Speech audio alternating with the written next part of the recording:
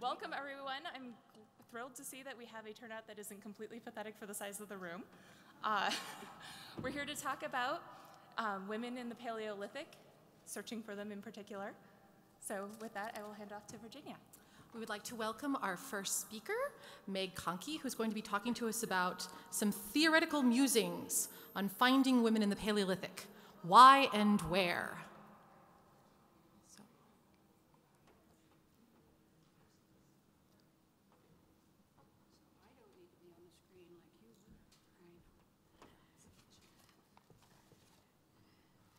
Well, this room is probably quite a good metaphor for the uh, place of women in our accounts of the Paleolithic. There are scattered few, but the rest are empty. Oh, okay, let's see if I've got this set up here. Um, when I wrote out the abstract, and uh, even when I started writing the paper, I had a quite simple notion in mind. I wanted to challenge, yes, in fact, challenge, on a number of grounds that we should continue to focus on so called searching for women in the Paleolithic which is, of course, an idea central to the session. I was thinking that in the ways in which the so called search for women had been taken up, that we had missed some possibilities for other dimensions of understanding the Paleolithic social worlds. Furthermore, I thought, and I actually still think, that there are some inherent ontological and epistemological problems of this idea of searching and recovering, even if there have been some gains. I mean, basically, I don't think we really are in the business of quote unquote finding women in any sort of straightforward way. And when we do make them visible in whatever way, the troubling part is that they don't tend, that don't they tend to be made visible in very familiar ways. And this is what Burton once called optical illusions, that women are made visible but in constrained and very modernist sorts of ways, as if they were just an extension of our lives. So, what would happen if what we saw, see if we can get this to move forward, if what we saw could not really be apprehended and it was not particularly archaeological, that it was very ambiguous and amorphous? Well, of course, it's not a simple, straightforward inquiry to say that we need to have other stories and narratives and accounts, of course, empirically based of the Paleolithic, but that women or men, for that matter, cannot be recovered. And then if we say that, we need to lay out what we nonetheless can do. So once I got into the weeds, as the saying goes, things got very complicated and very ambiguous. So, in the spirit of this being a small and accomplished group to be led by our discussant, I'm going to try to stumble through here a somewhat contorted consideration of some ideas around these preliminary notions.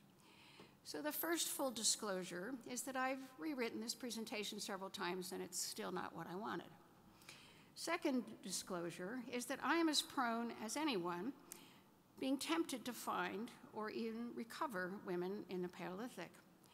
Now, I've just had the occasion to co author or join in authorship on a paper in the Journal of Archaeological Method and Theory, which attests to my still being tempted to find or recover women in the Paleolithic, because in this inquiry uh, with uh, Fritz and Tosello about the roles and identities of the makers of the Paleolithic arts, one of our first questions was, and what if it were a woman, the challenge of engendering? Now, admittedly, this was a question that was raised by my French co authors in the first version of the paper before I joined in as a translating and supporting author.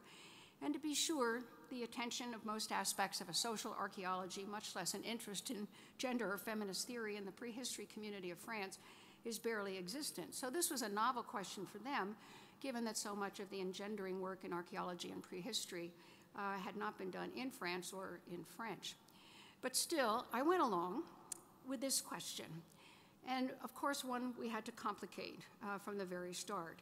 And of course, complicating meant that we had to recognize that it's in contemporary culture, gender is complicated. Many of us may have appreciated these signs for what people are needing to do for restrooms these days, since gender is increasingly complicated in contemporary societies, which should be a lesson to us.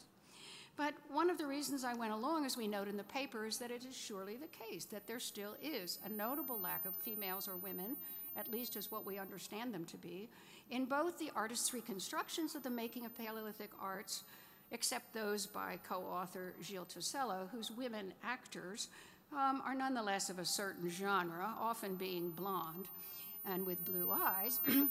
and of course, there is also a uh, lack of uh, women, females, uh, in the accounts of Paleolithic activities, societies, and lifeways. In fact, the androcentrisms of reconstructions and accounts of life in the Paleolithic is so ingrained that sometimes, even when women are quite literally in the picture, they are not seen. And I recently gave a lecture to what I thought was a smart group of undergraduates at Berkeley, and two women students came up after the lecture to ask about the general, uh, in general, about the roles of women in image making. Uh, where are they? You know, what do we know? And they and I referred to several of the artist reconstructions that I had shown, such as this one that's now on the right-hand side. When I pointed out to them that there sometimes, rarely, are women depicted in such as in this example, they were horrified to say that they hadn't even noticed the woman. All they had noticed were the men at the left. So their vision itself had been skewed, and even when visible, the woman was not quote unquote seen. Now, there have been a number of attempts and in depth attention to such things as the social or agency, but for the most part, the landscape of Paleolithic archaeology is still stones and bones and even art, usually, but not always, without actors, even if there are apprentices, accomplished engravers, inter and intra regional relationships, manifestations of symbolism, presumed trade and exchange, and so forth but it is still mostly at a macro scale and full of abstract processual sounding concepts that don't really get much attention or detailed or thought about individuals, actors, agency, identities, much less about entanglements, embodiedness, or other trending concepts that are bandied about in some of contemporary archaeology. Of course, there are some voices in research that are increasingly nibbling at the edges of the strong androcentric and macro scale prevailing uh, paradigms. The work, of course, of Olga Soffer and her colleagues, the work of Van Gelder and Sharpe on the finger flutings, or April Nowell on childhood and the learning of Paleolithic art, to name only a few. But the questions our organizers have raised as have as much to do with not just the archaeology and paleoanthropology of the Paleolithic, but the way popular culture has, of course, bought in uh, to uh, deeply problematic stereotypes. And so, of course, you can see um, I don't know if you can see the uh, cartoon up at the upper right. It says, I don't, You don't suppose men are going to get credit for this, too, do you? so, one of the additional questions here is not only what we might quote unquote find out about women in the Upper Paleolithic or the, all of the Paleolithic, but how can this enact change? Thus, on the one hand, when attempting to engage in theoretical musings, we have to admit that we cannot set aside the impulse to not just people the Paleolithic past, but also bring in the absolutely central women of those societies into the picture and narratives, if not also into the attempts to interpret and understand what might have been going on in the Paleolithic past. As Silvia Tomášková once pointed out so astutely, if we do not even imagine and make explicit the range of human experiences of multiple past actors and groups, this in effect denies that such experiences ever existed. How could one think that Paleolithic women sat around and waited for some guy to make her stone tools, especially as she butchered the much heralded kill. This is not merely, I think we can now agree, a need to find women, to recover them, and thus to use this information to lead to a more nuanced understanding of the social and cultural dynamics of Paleolithic life. Rather, this attempt to recover and thus insert other actors in varied roles into the story should be attempt to complicate and yet render ever more ambiguous and even open ended what we think we know so far. But should this be our key goal, some 30 years since the visible beginnings of trying to engender archaeology and the archaeological past? What might we have missed, and what other pathways have we not taken because this search for the women of the Paleolithic that has not been all that successful, if we are still working away at it so hard? Have we been too seduced by trying to engage in gender attributions? What do we want from making women visible? So in the rest of this presentation, I want to quickly address several questions. What is thought to be gained from a search for the women of the Paleolithic? And two, has this impulse to find and recover women limited us in some ways, while admittedly often opening new doors and insights? And does this matter? What is to be gained from finding or recovering the women of the Paleolithic? Of course, this is a topic for the entire session and way beyond, but I would suggest here just a couple of goals. First, whatever we quote unquote find out, whether it be a somewhat direct observation, such as in the several burials that we have of identifiable females, such at sites like Dolní Věstonice, uh, Sungir, Saint Germain en Laye, or Saint Germain la Riviere, or El Miron from Spain, and of course, have to ask ourselves who this looks like, or indirect inferences that make some sense, assuming that for the most part these Paleolithic peoples required the effective labor and sociocultural skills of as many people as possible, as well as open up stereotypes to scrutiny, such as uh, Silvia Tomášková has done on the gender of shamans, um, here on the left, or as Olga Soffer has on the likely makers of some of the female figurines. Second, this complication should be key to addressing serious contemporary issues of how a presumed past, a paleo past, is drawn upon to naturalize and substantiate current gendered practices, including violence against women and patriarchy in its many problematic forms. Perhaps the current vogue of the so called paleo diet is in um, paleo muffins at our local cafe in Berkeley. Uh, perhaps the current vogue of this so called paleo diet is in its food promotions somewhat neutral but it nonetheless evokes to many the man, the hunter, caveman icons and idols. Mary McCaughey has uh, challenged the evolutionary, psychologically based notions of the persistence of the caveman ideal, such as do we really need to release the inner caveman? and even she has suggested that this has, in fact, constrained contemporary males in what she calls the caveman mystique, analogous to Betty Friedan's feminine mystique. But frankly, we desperately need a sustained intervention, such as what the Guerrilla Girls have done um, for the perpetuation of caveman ideology.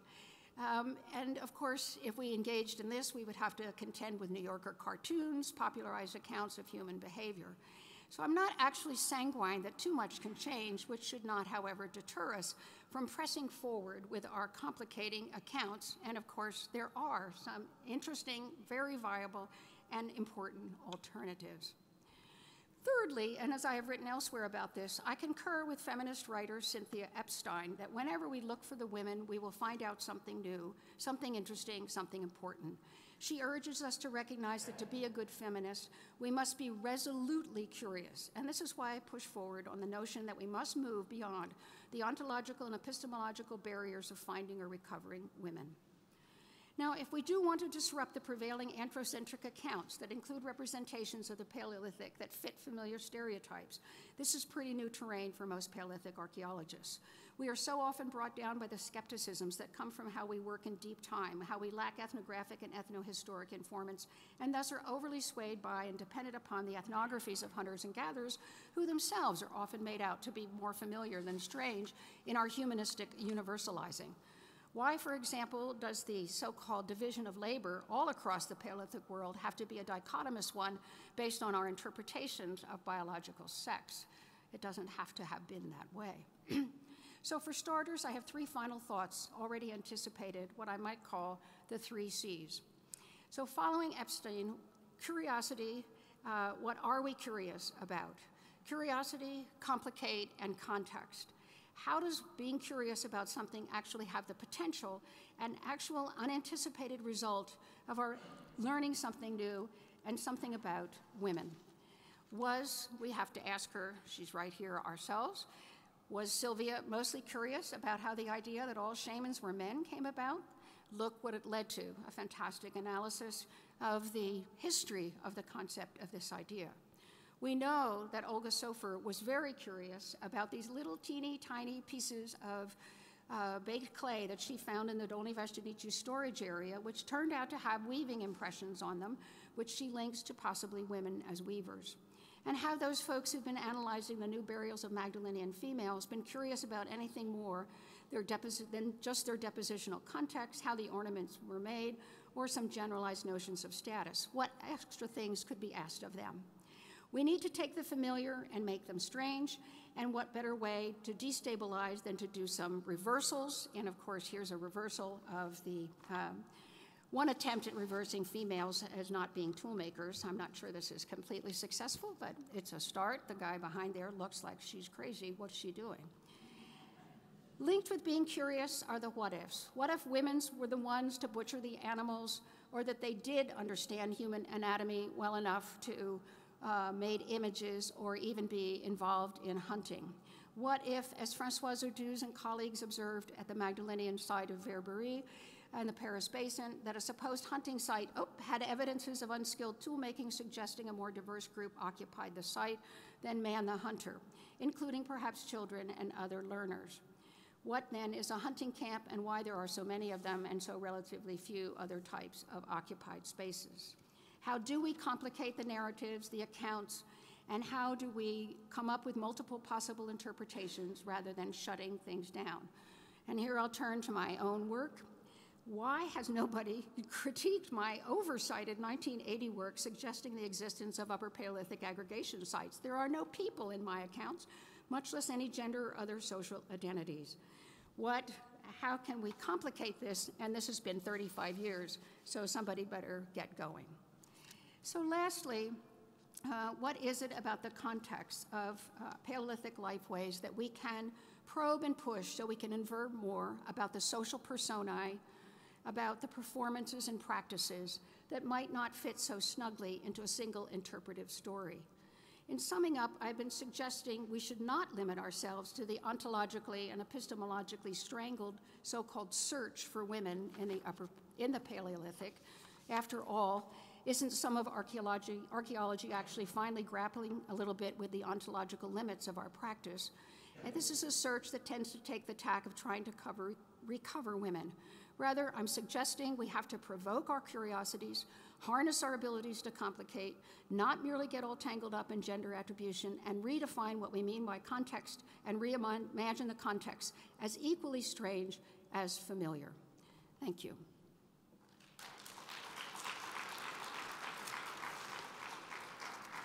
And this, of course, is the elephant in the room.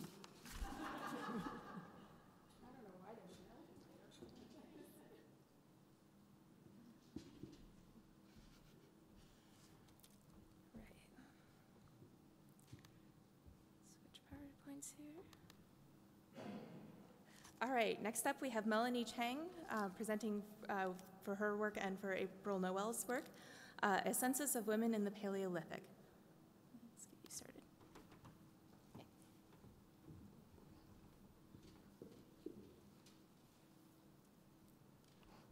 Hi. So, well, in the early 1990s, uh, Saturday Night Live ran regular skits starring a character named Pat, that some of you may remember, whose amorphously shaped body and awkward, ambiguous mannerisms made it impossible for anyone who interacted with Pat to determine Pat's biological sex. Stymied by their inability to first categorize Pat as a man or a woman, they found it impossible to move on to any other kind of normal social interaction.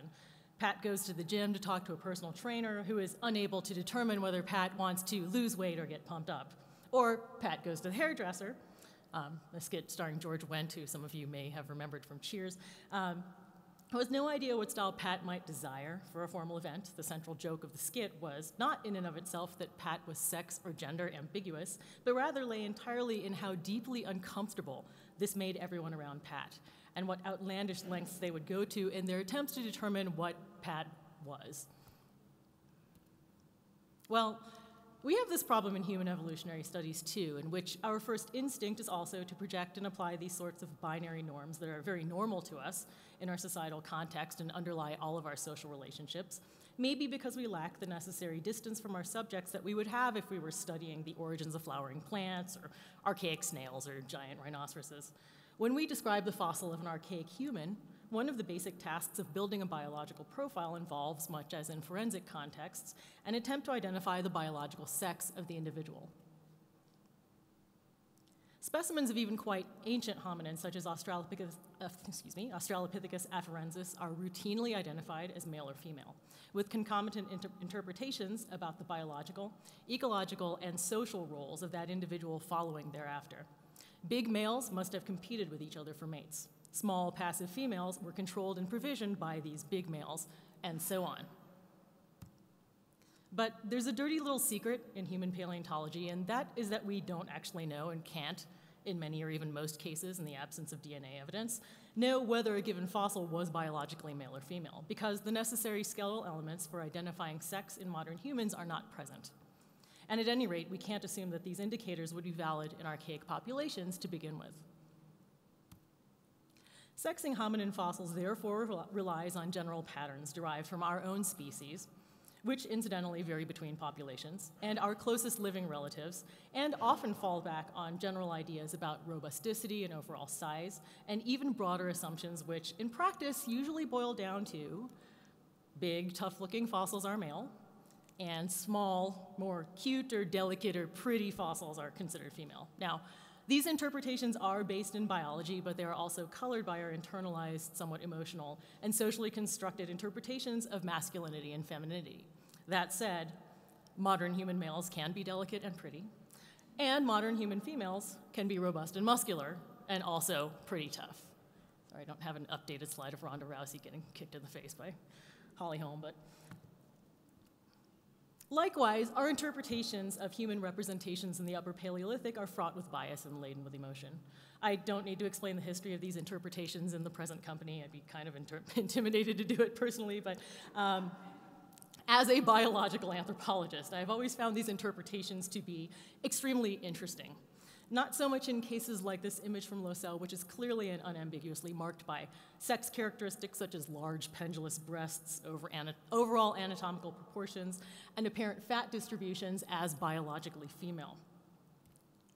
But there are many cases that are either ambiguous or that completely lack primary or secondary sex characteristics, and yet are often unproblematically read by researchers as biologically female based on soft associations between sex and things like hairstyles or conventions of illustration, what Kelley Hays-Gilpin referred to as markers of gender.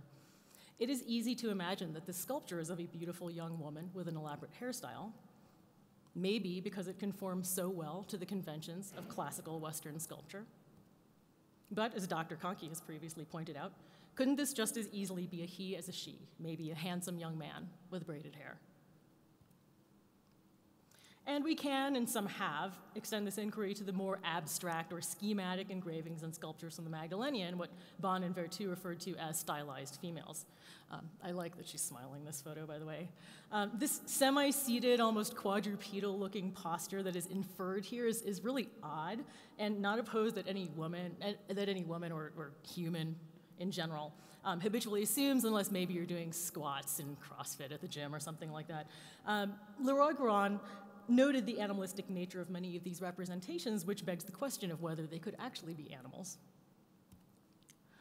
Likewise, some of what have been termed true composite animal human rep- representations, like the Birdman from Lascaux, are pretty clearly male in this schematized representation, but others that are often considered male, like the Lion Man of Hohlenstein-Stadel, are not.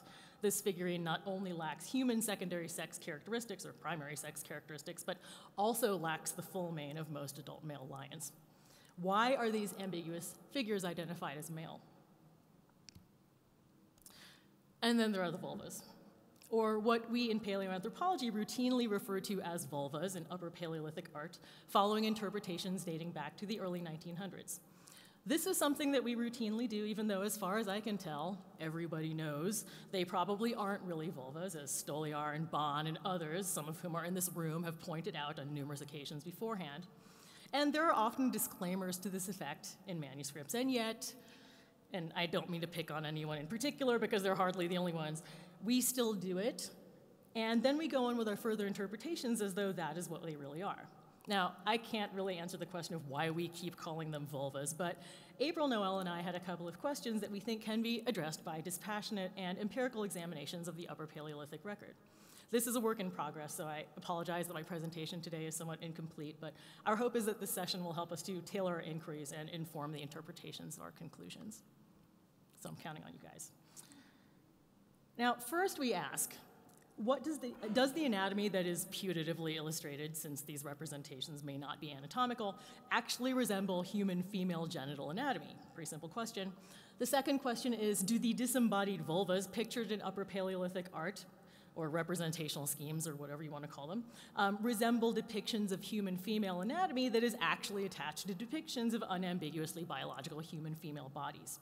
Now, this latter inquiry has been suggested by Paul Bahn on a number of occasions, but it's not clear that anyone has ever systematically actually done this. So, first things first, let's get this out of the way. Most of the images we are talking about do not look like human vulvas. Sorry. Um, uh, but no, not only because most of these images, because these images are very eclectic. Now, I understand that Leroi-Gourhan did not actually consider all of these female signs to actually represent female anatomy. But because human vulvas actually look like this, not like those, um, and all of the putative vulva images, of all of the putative vulva images we've looked at thus far, only this one from Cosquer actually looks somewhat like a vulva. But it is, as far as we can tell, a singular or one of very few representations in this style. Otherwise, what we are actually talking about are putative representations of pubic triangles or frontal views of female anatomy that include the mons pubis, the very anterior portion of the vulvar cleft or slit, and lower quadrants of the abdomen above it. Now, it is clear that the various images described by Delluc and Delluc and others as vulvas or as sex femina, in most cases at least superficially resemble frontal views of the pubic triangle, at least if they are oriented in a certain way, although they are presented in a variety of ways in situ when they are actually viewed in caves or in other contexts. But they, as well as the region of the body they are said to represent, lack a whole lot of validating details and also resemble all sorts of other things, like hoof prints or placentas or molar teeth. I mean, I, I'm a biological anthropologist. I see teeth when I see these things. I can't help it. Or bird feet, for example. Uh, I should say Paul Bahn thought this was one of the few unquestionable isolated instances of vulvar imagery in the, in the record, and, and I generally agree with a lot of what he writes, but I don't agree with that one. Um, so our next task is to identify unambiguously biologically female full figure representations using strict criteria, meaning the presence of unambiguous primary or secondary sex characteristics, generally breasts and anatomical proportions or apparent fat distributions. Now, of the 50 plus full figure unambiguously biologically female representations we have examined images of thus far, over two thirds have relevant regions that are depicted as triangles, either with or without a median line representing, presumably, the vulvar cleft. Now, this interpretation or this depiction can also be extended to otherwise ambiguous images, such as the impudique from Laugerie-Basse and the frieze from Roc-aux-Sorciers, both of which lack defined breasts. Actually, most people can go, come on, that looks female to you. Okay, I'll sort of buy that, I guess. Although other unambiguous females, like Dolní Věstonice, lack a pubic triangle altogether. Now, Something curious about the entire Upper Paleolithic oeuvre, except possibly the bison woman vulva from Chauvet down on the lower left-hand side there, is that the mature is that mature fecund human women usually have some amount of pubic hair, and this is usually the most visible attribute of the pubic triangle from the front. Yet it is not portrayed in Paleolithic representations, despite the fact that hair or presumed hair covers or styles or head wear um, is sometimes depicted on the head in, in quite some detail. This could be taken to indicate that many images are of prepubescent females, or that, like women in classical Greece and Rome, Paleolithic women habitually removed their body hair, or it could represent a convention of representation that we can't fully understand. Whether or not Paleolithic women actually went full Brazilian, it is clear that only triangle vulvas actually resemble the pubic triangles of full figure female representations. While it is possible that Paleolithic peoples had different conventions for depicting isolated female anatomy versus female anatomy in context, i.e., as part of a human figure, this is something that would have to be demonstrated rather than assumed. But could this similarity represent a shared culturally embedded representational system? If so, then an extended argument could be made supporting the identification of isolated sex femina as female anatomical representations.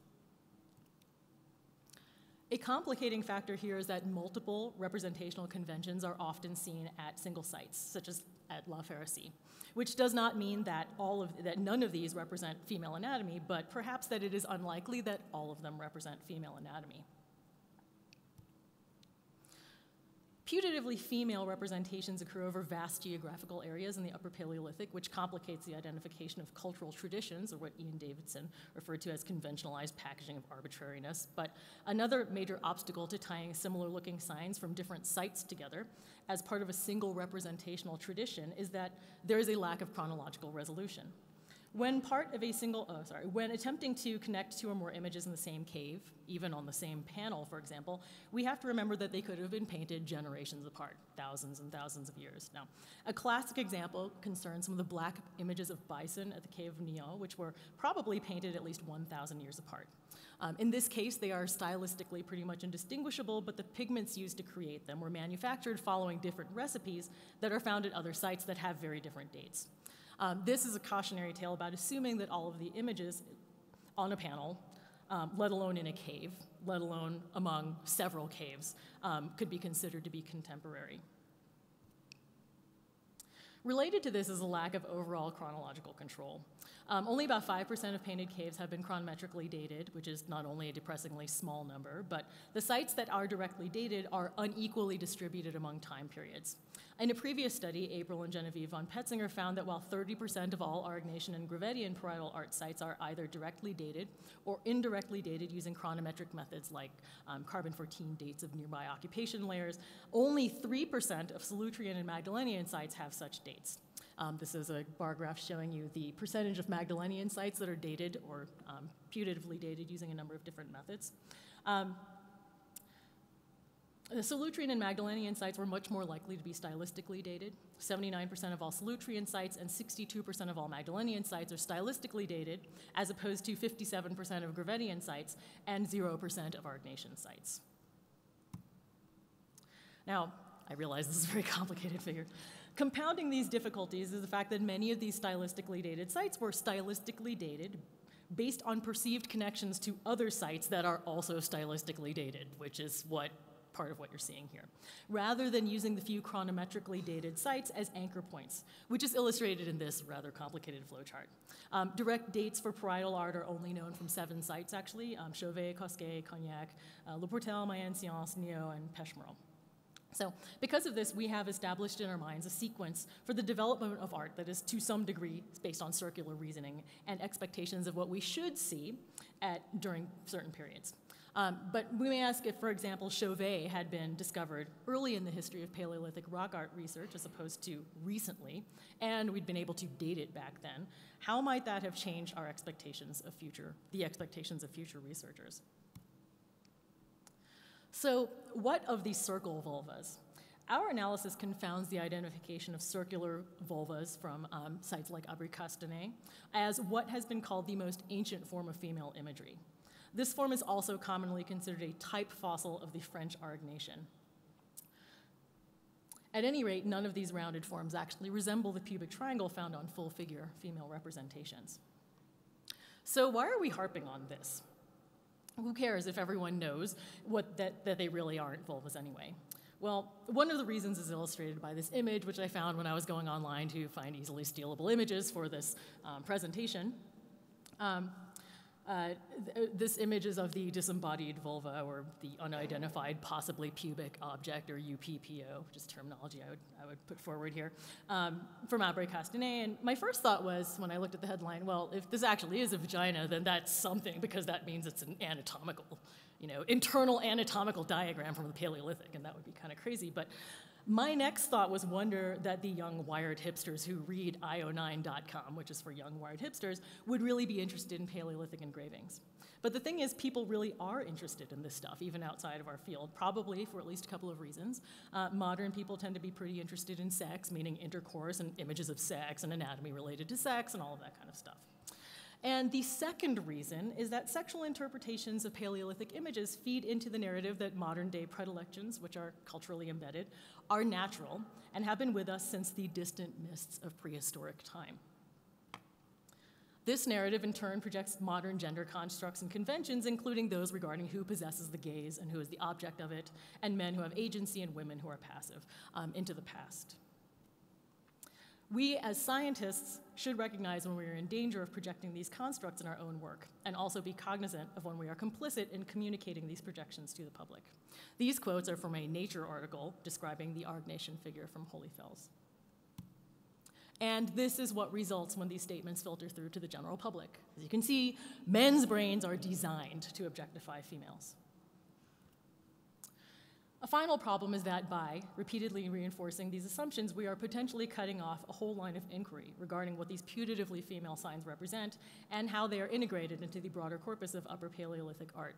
However, if we want to expand that inquiry, then we might get a chance to learn more about who our ancestors were, rather than looking at a reflection of ourselves that feeds the media but tells us little about who we are now and perhaps even less about who we were then.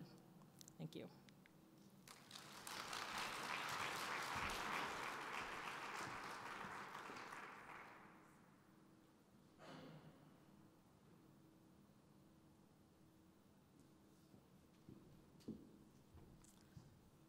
So, next up is Caroline Van Sickle talking about In Search of Mothers in the Paleolithic.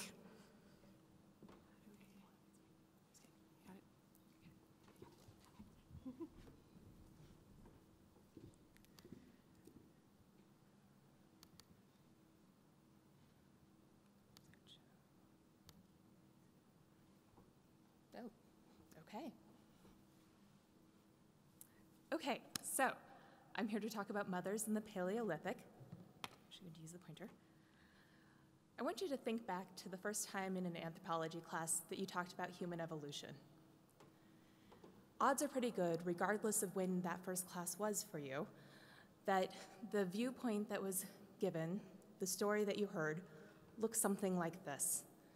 It looked like men doing the interesting things, holding the clubs, the stone tools, the spears, and women sitting in the background holding babies, if women were even mentioned at all.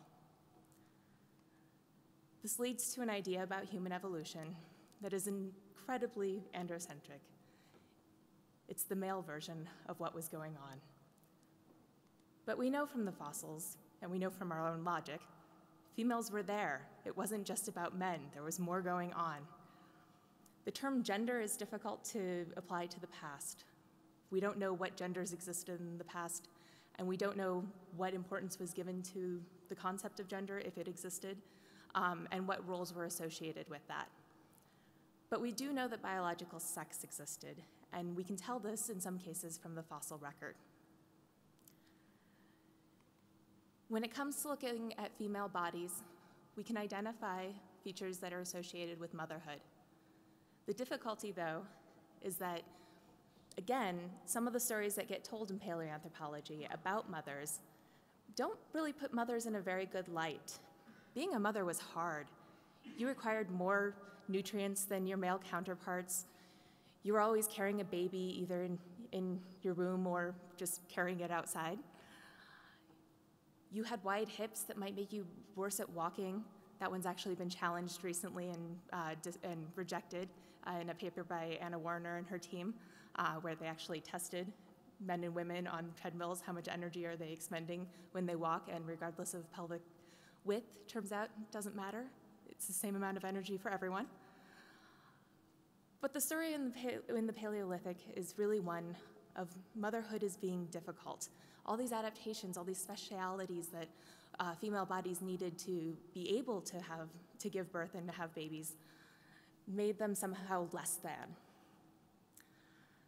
I think about this a lot in my research. And one thing that I think about is what, what can we do to change this story? And what evidence do we have to really base it on? The first line of evidence that I think of is can we actually do anything to identify which bodies in the past gave birth? Can we identify mothers from the skeletal evidence? In modern humans, we have uh, features on the pelvis called parturition scars that are associated with birth, that are associated with parturition. Uh, these appear as deep pits that appear on the back of the pubis and in front of the sacroiliac joint. And the idea behind these is that um, there's ligaments there that are stretching out during uh, the birth process um, and especially with women who give birth multiple times, they can actually start to affect the shape of the bone and cause these deep pits. So it's not a guarantee that every mother is going to have parturition pits, but if you have them, the assumption is that, okay, you're looking at someone who has given birth.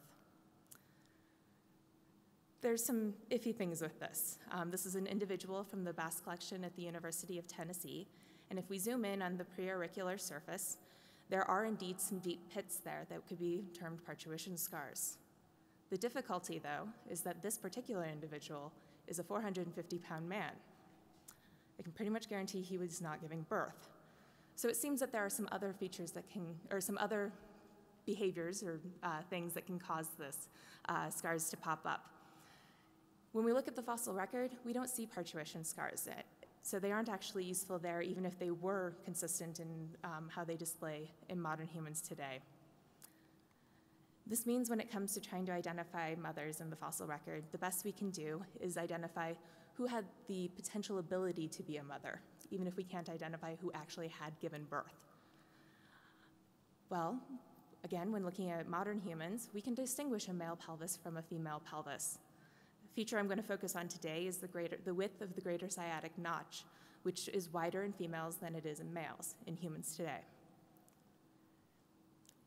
This has to do with the birth canal, the fact that when uh, female bodies need a birth canal, uh, and so by increasing the width of that notch, as you can see on the picture on the left here, sorry, on the right, um, which is a male pelvis, by increasing that distance, you would actually increase the anterior posterior space of what would be the birth canal if this were a female bodied person. That makes it possible for a baby's head to fit through there. So, this is how great, the greater sciatic notch in particular uh, is an adaptation for birth. Well, we have some greater sciatic notches that we find in uh, the fossil record. So the question is, can we estimate sex based on those? I'm going to take you through time going back. We won't hit every stop, I promise. Uh, but in Neanderthals, we do have some very complete pelvic remains. Um, the Tabun female pelvis here is being reconstructed in different ways by different teams. It's not totally complete.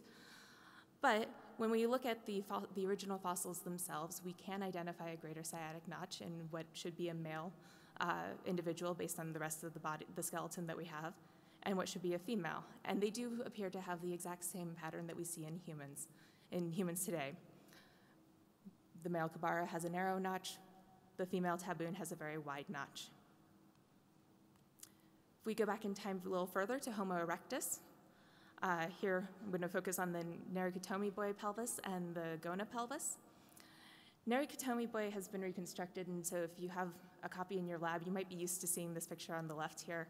Um, but I want to point out that the front part of this pelvis, I don't know how to, yeah, right here, um, it's darkened out because it's actually completely made up. Um, and so we don't know that this is actually what this pelvis would have looked like here. But if you look at the pieces of the pelvis itself, you can identify um, the greater sciatic notch. I've highlighted it in white over there. And it's again much more narrow than the um, GONA one highlighted uh, on the right. Now, the difficulty with this, though, is that there's a lot of debate in paleoanthropology over whether or not GONA actually is Homo erectus. Um, it's not a very appropriate comparison to Nariokotome if it's not the same species. But if we take the, as a base that these are the same species, it does appear that this is something that was sexually dimorphic in Homo erectus. Australopithecus sediba, it's the same thing. Here we have two individuals, a male and a female, and the male has a narrow greater sciatic notch, and the female has a wide one. Australopithecus robustus is a bit more difficult. These notches are very similar to each other. They are both U-shaped. Sometimes there's a distinguish between uh, modern males have a more J-shaped uh, notch. It's narrow and J-shaped, whereas uh, it's more evenly distributed and U-shaped in females. And these notches could both be considered female if you were to find them in a human sample. So it doesn't appear that the greater sciatic notch was as dimorphic in uh, robustus. The problem here being that we don't have a very large sample. We don't have a lot of other individuals to compare this to, so it might just be something weird about these particular two. Afarensis, we have a similar problem. Both of these kind of look J-shaped. So here we're looking at the Woranso-Mille male uh, individual and at Lucy. And while Lucy is wide, it's actually not nearly as wide as and Mille looks, um, but they're both kind of more J-shaped than U-shaped, and so the greater sciatic notch looks less sexually dimorphic in uh, this Australopithecus species than we would expect given what we know about modern humans. This kind of leads to a story. Leads to a story where we could have our old idea about what is sexually dimorphic in the pelvis being determined by brain size. Australopiths have a small brain size, so they don't need as many adaptations in their female pelvis in order to be able to give birth to their small brained infants. Um, this means we wouldn't expect as much sexual dimorphism in Australopiths as we would uh, in the genus Homo, where brain size increases and increases. But you have to remember Australopithecus sediba was sexually dimorphic. Uh, Australopithecus sediba um, is a small brain Australopithecus species, but it challenges this idea, this pattern that would be set up um, based on brain size not being, in, or being the key thing that brings about uh, sexual dimorphism in the pelvis. So, where can we go from here? I know looking at one feature of the pelvis is maybe not the most exciting thing to do, but a lot of cases, in a lot of cases, this is the evidence that paleoanthropologists are going to for actually identifying sex in the fossil record. And they base conclusions about the pelvis, about what females were capable of doing, about what mothers were doing on this type of evidence. Where I hope we can go from here is, this, is an idea of, yeah, sorry. I hope we can go from here is changing our ideas about how we identify sex, what our criteria are, how many individuals we require. If we think we can identify sex with one pelvis, I think we're mistaken. We really need to have at least two, and even then, that's not a really a very good sample size. But sample size isn't the full problem. You might think that with over 1,500 fossils from a single site, uh, as is the case with the new hominin species Homo naledi, that we'd have a good sample size, that we would be able to tell, okay, these ones are male, these ones are female, it's very clear cut. We know what sexual dimorphism looked like, even if it wasn't the same pattern as we see in humans today. Well, I can tell you from my research on Homo naledi that that's not the case. We actually only have four greater sciatic notches.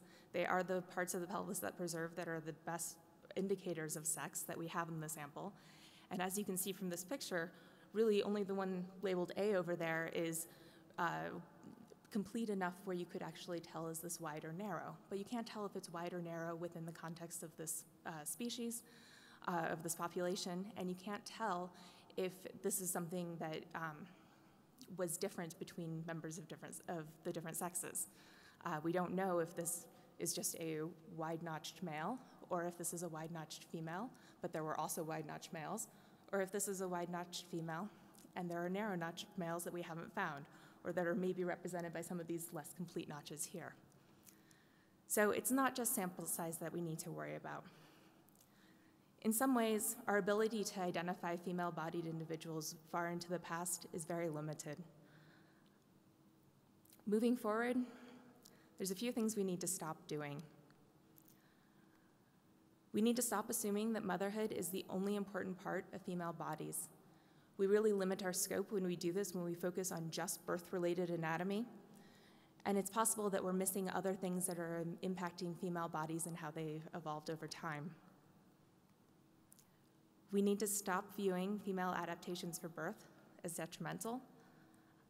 We can't assume that just because there is an adaptation for birth, there is something uh, somehow wrong with the individual.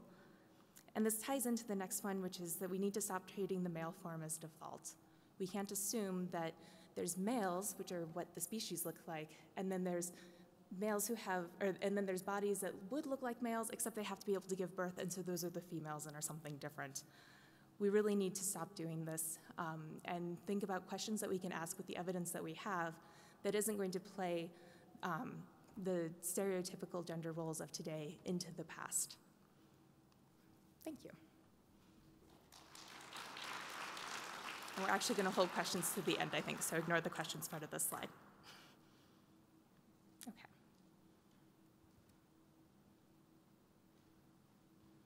Next up is Virginia Estabrook. sorry, I'm getting this up, uh, presenting on bioarchaeology of gendered labor in the Middle and Upper Paleolithic. Just like that, you're good. Okay. So here's, here's. Okay. Is it, is it up? Nope. Crap. Oh. Uh, play from the start. Is it doing it? Yes. Okay, excellent. I'm not a Mac user. so I'm here to talk about the bioarchaeology of gendered labor in the Middle and Upper Paleolithic, or rather, how we search for potentially gendered labor in the Middle Upper Paleolithic, and actually how we sort of don't find it. Um, so the familiar story is that Neanderthals had a lot of trauma. And this is because many of the well preserved Neanderthals show evidence of trauma. So if we think of all the skeletons that we have names for that represent sort of almost full or as full as we get um, skeletons we have, all of these have some trauma in them. However, um, most of them are males over 35 years, um, or almost 35, so Kebara is definitely an adult um, male. But so we're looking at this well preserved sample of Neanderthals that have trauma, and we have this very weird age bias um, thing going on there, possibly a sex bias um, or gender bias if we think about the presence of trauma as being an issue of labor in the past and representing what people were up to. So when people think about what women were doing in um, Neanderthal times or Upper Paleolithic times, generally people are not thinking a lot about um, what females were doing. So female trauma is often not differentiated from male trauma, um, or it's not specifically addressed, so it's sort of lumped in with Neanderthal trauma. Um, and then when it is sort of thought of a little bit, um, it's thought of using mostly non-human primate models of what females might have been up to. So Binford's idea of Neanderthal nests, so the, the females stayed in the caves like um, gorillas stay in their nests, or sort of had these nesting zones where women and their children sort of huddled in fear of extinction. Um, so, as far as approaches to Paleolithic gender, how do we even get to this? How can we look at differentiations um, of potentially gender roles, is it even possible to observe the impact biological sex had on social roles? Because our fossil record is really scrappy, and we don't have a lot of individuals, and we have very few individuals for which we can actually give a very accurate um, possible sex uh, determination on. So, is it possible to even do this in um, the Middle Paleolithic, given um, the sample available, in any sort of statistically meaningful way? So this has kind of been an issue that I am really interested in, have worked um, a bit about. So do we see the impact, um, so if we do, if we think that we can actually do this, do we see the impact of biological sex in the fossil skeletal record in the Middle Paleolithic? And, you know, do we see it in the Upper Paleolithic? Is it different um, between the two of them?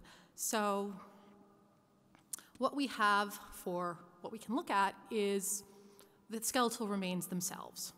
So skeletal remains are our window into the past, um, especially in the Middle Paleolithic, where we don't really have grave goods um, that can help us look at social roles that people might have played. Mostly, we just have the bones of the people themselves and the things that they made, but generally, the things that they made are not um, in good conjunction with the people who might have made them.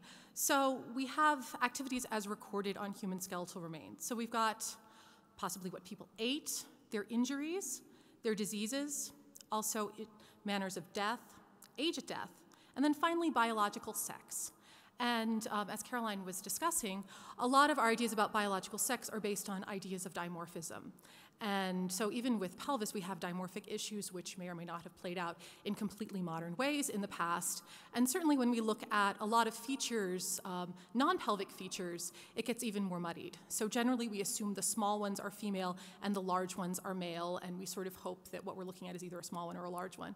And going forward with that, so we've got these, these issues with our sample, our really, really tiny, scrappy um, fossil sample that we're looking at in the past. And so to get from that to gender, um, which requires a concept of social roles, is um, challenging. So one of the things that I'd like to talk about is sort of for this work, it's looking at skeletal stuff, is recoupling, at least with limits, biological sex and gender. Because sort of in modern theory, gender has gone its sort of own direction. Gender is our social roles, biological sex is something else. So, for our intents and purposes, not taking male as the default, so the biobehavioral role of sex in mammals is that females have the potential ability to conceive, bear, and give birth to offspring, provision those offspring through lactation into the weaning period, and have concomitant fluctuations in hormone levels that make all of this possible. So we've got all of these things going on with females, and you know, we can look at males as not females. They don't have these things going on. They have no superpowers.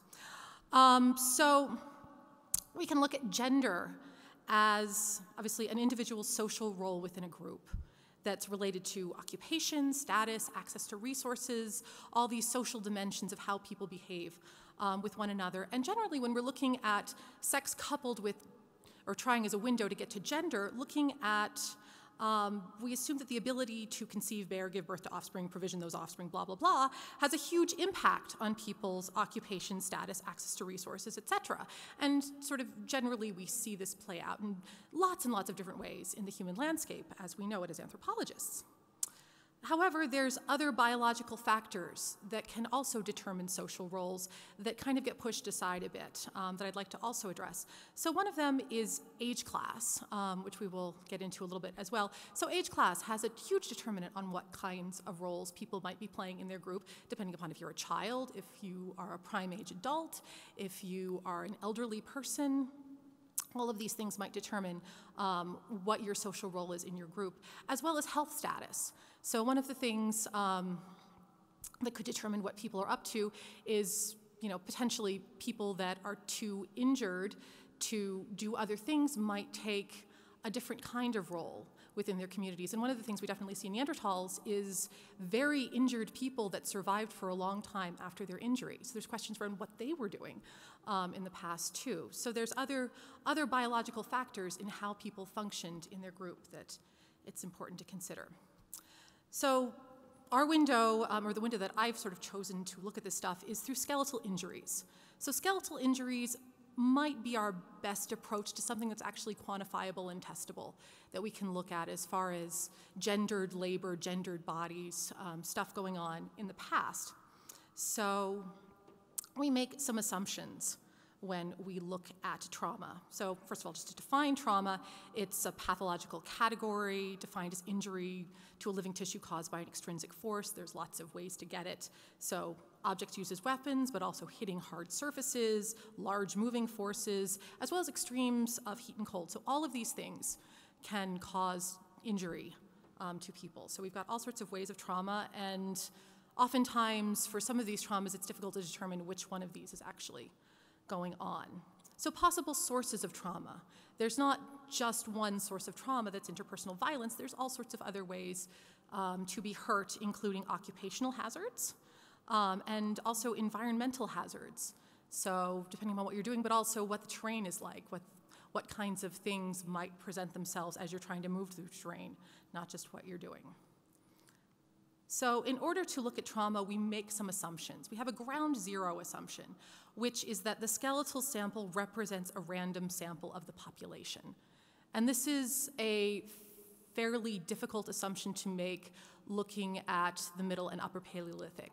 It's not, um, there's issues of what is a burial, what is not a burial. We, there's a lot of debate within the Middle Paleolithic around what is a burial. So if we have certain individuals who are being deliberately buried, there are social reasons why they're being deliberately buried that make this a non-random sample. So um, before we can even start to address you know, sort of differences in potential patterns of trauma between males and females, we need to know, are we looking at the same sample? So one way we do this is by um, assuming that an observed phenomena is considered a random sampling until that's disproven. So we, we're trying to disprove that what we are looking at um, is actually random sampling. And one of the issues that we have during um, the middle and also upper Paleolithic is tiny, tiny sample sizes that conventional statistics does not like. Um, so a way to work around this is um, through um, simulation of data sets. So um, a very nice tool for this is called ACTUS. It's analysis of contingency tables using simulation. Big mouthful there.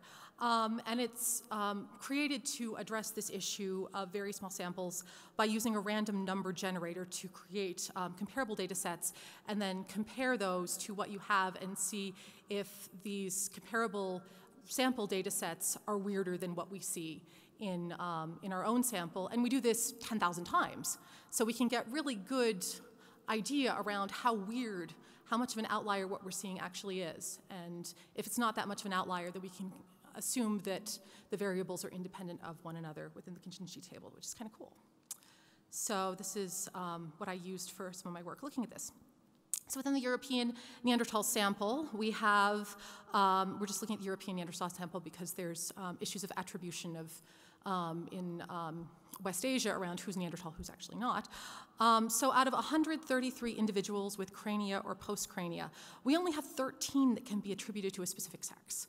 And um, so of these, we can look at these and um, compare between males and females. And um, what we find here is that although there's more males than females, it's not statistically significant. So we're sampling the same kind of pile males and females. We are actually looking at a random sample, at least for our purposes going on here. We make a couple of other assumptions with trauma as well. The second, or the sort of one first assumption, is that the frequency of injury within a group directly reflects the frequency of an individual's exposure to extrinsic hazards. So each individual bopping through the world, um, if they they have this possibility um, of being injured, we're seeing this frequency of injury um, and looking at the frequency of injury in skeletal records. And because of this, we can assume that comparisons of frequency of trauma between groups reflect differences in relative exposure to hazards. So through this, we can compare what's going on with females and what's going on with males and try to get some idea of are they dealing with the same kinds of hazards that are causing similar kinds of trauma. Going on. So when we look at the European, the, the European Neanderthals, we can look at um, sex and trauma frequencies going on here. And what we see with this is the null hypothesis isn't rejected.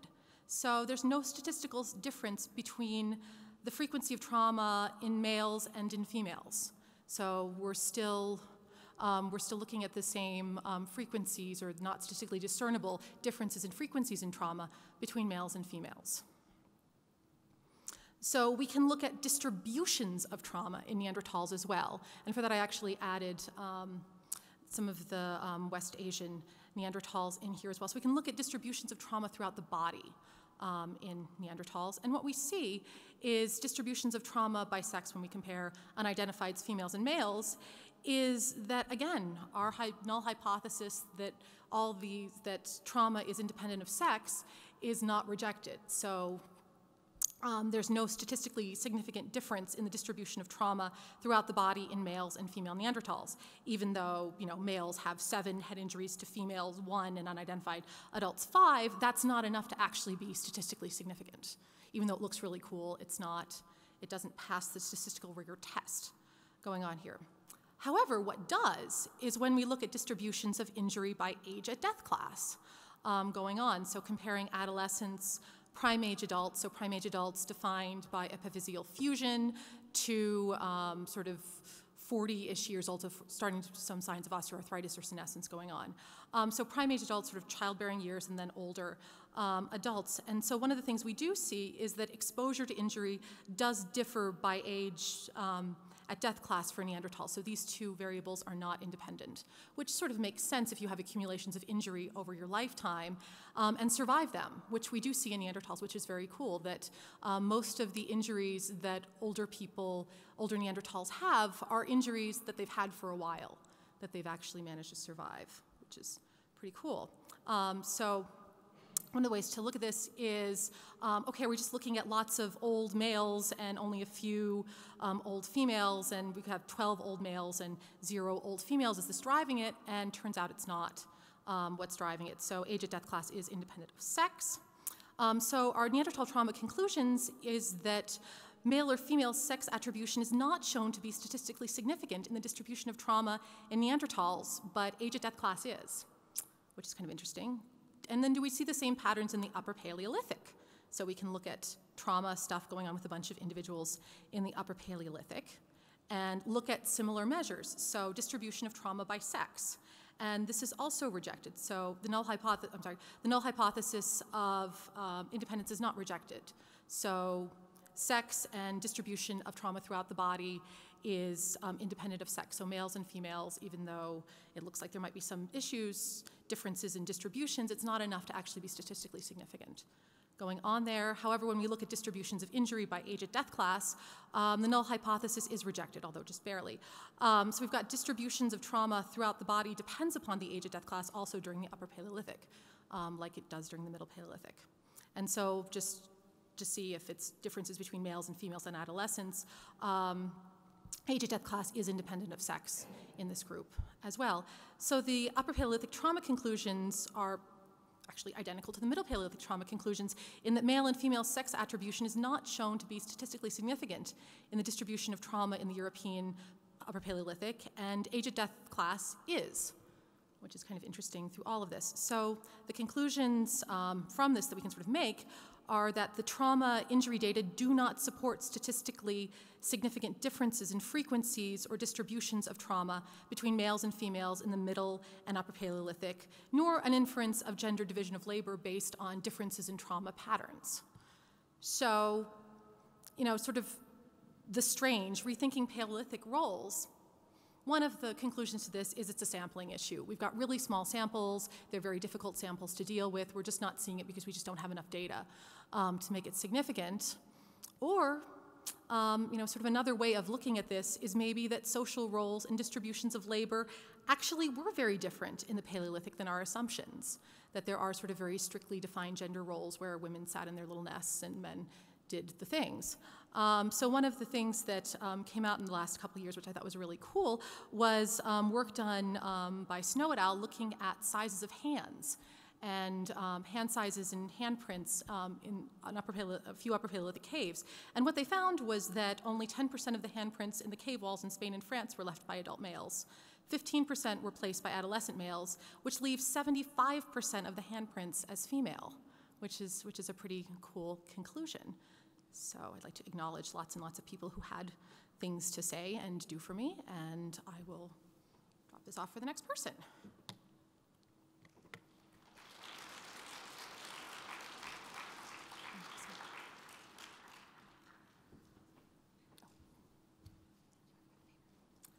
So I am pleased to welcome Kathleen Sterling, who's talking about In Search of Men in the Paleolithic.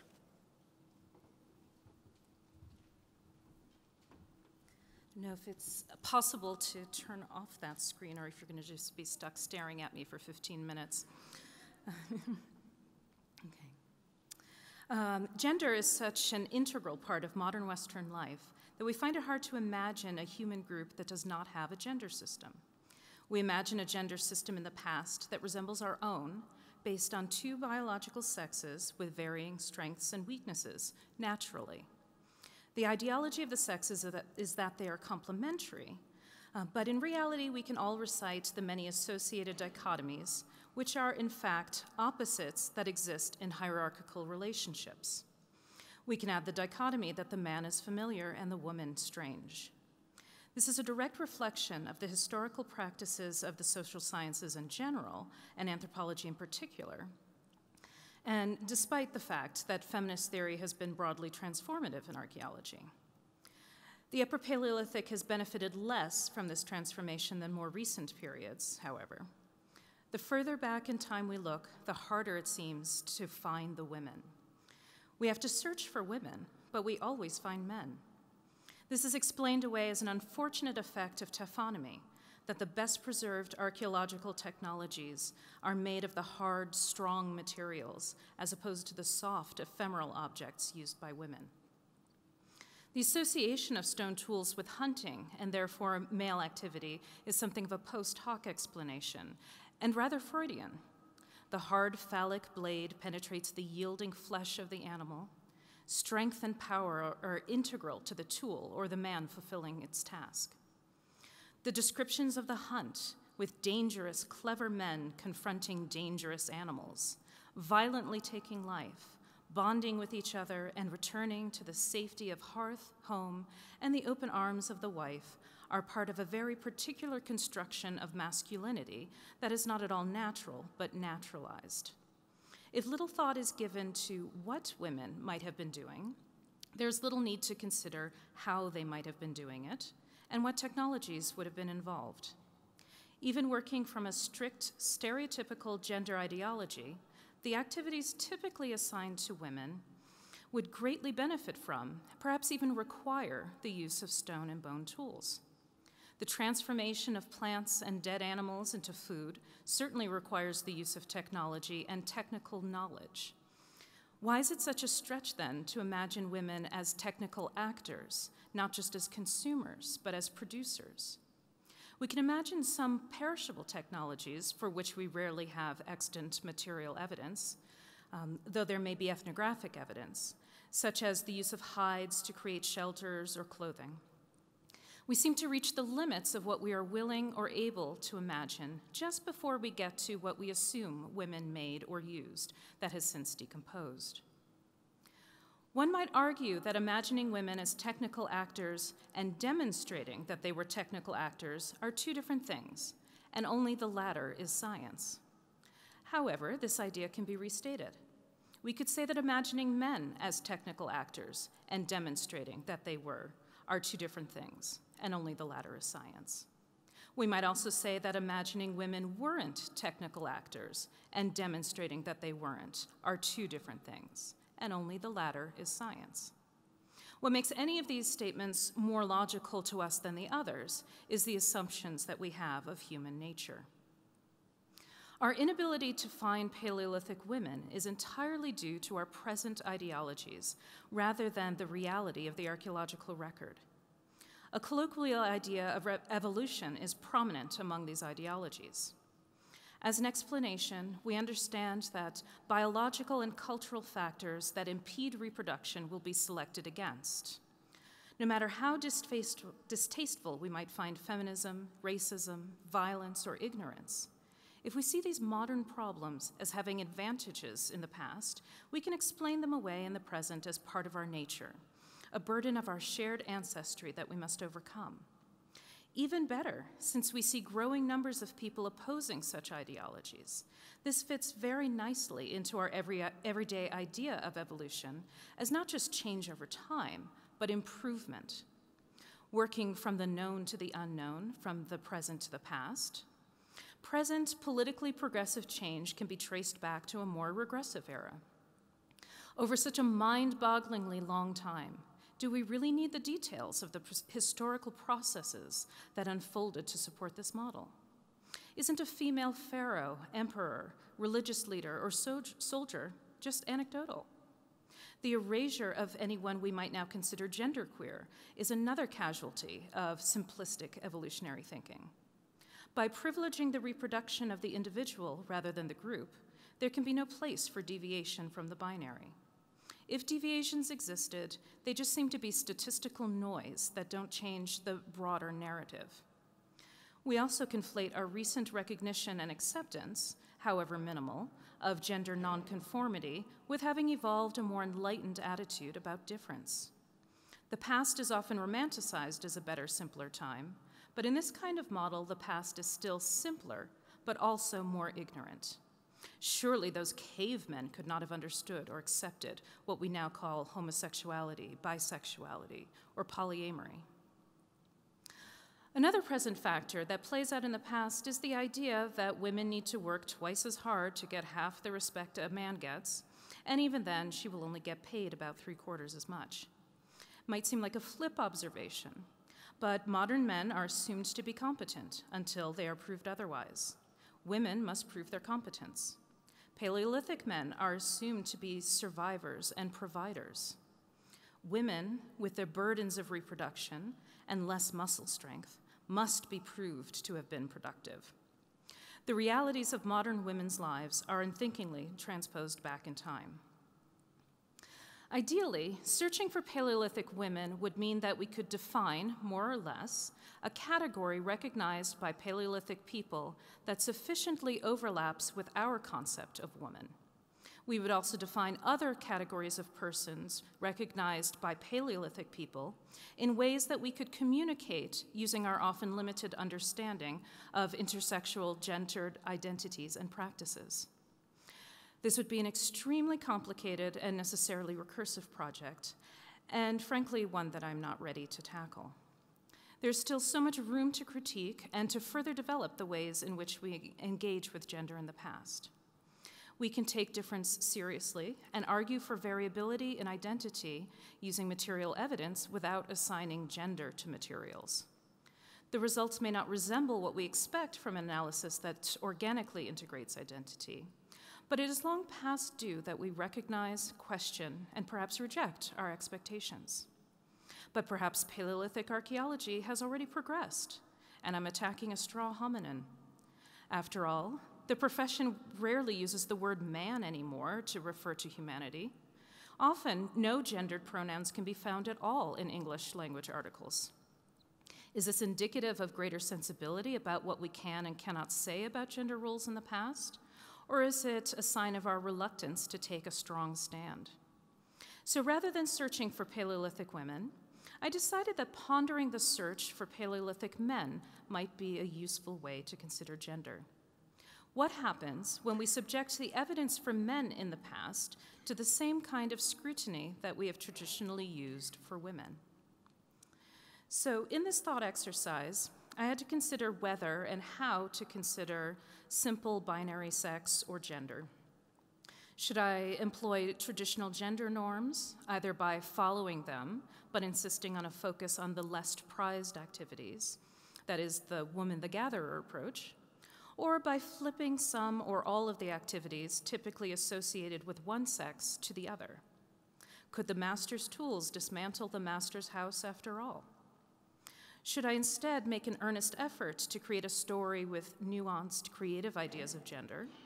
Or would such an approach really just achieve the same outcome as a traditional approach that ascribes gender in the past to, that would support my own needs and is just as fictional? In the end, I decided that I would not repeat the usual approach, that is, of discussing Paleolithic gender in a way that is based on the mix of my cultural upbringing, personal ideologies, and selected ethnographies. That might have resulted in a more interesting story, but I would be speaking over rather than for Paleolithic people. Using traditional ideas about gender to look at the Paleolithic differently achieves something different. This brief description of Paleolithic life that follows is not actually about the Upper Paleolithic at all. It is about Upper Paleolithic archaeologists. So the following is a little story um, told with tongue firmly in cheek. It has long been a problem in prehistoric archaeology to identify the activities of men. The activities of women in the past can be easily discerned through the material culture they left behind. Women have always been very inventive and technologically inclined, and many of the raw materials and artifacts they used simply preserve better than those that men used. For example, we have points made of antler or stone that would have been hafted and used for multiple purposes.